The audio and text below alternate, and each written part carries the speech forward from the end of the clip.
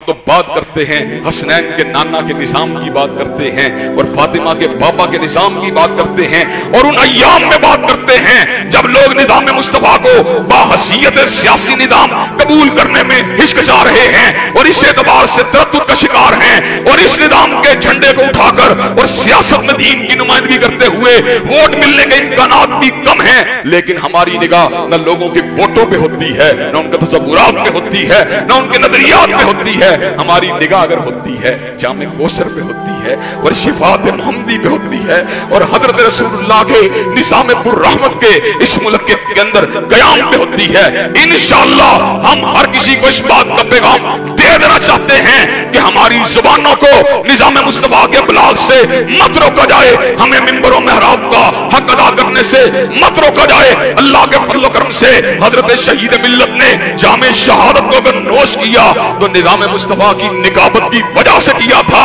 हज़रत ग्रामी कदर, आज मेरा भी नारा अल्लाह के फल करम से यही है। ना शायर हूँ मैं, ना अदीब हूँ, ना मुशीर हूँ, ना वज़ीर हूँ। फकत निज़ाम मुस्तफ़ा का नकीब हूँ और रब के दर का फकीर हूँ। और हज़रत ग्रामी कदर, ये बात मेरे लिए बाईस इज़्ज़त भी है और बाईस इफ्तिहार भी है। अल्लाह तबारक वाली हमें हक के ऊपर कारबंद रहने की तोफीक अता फरमा।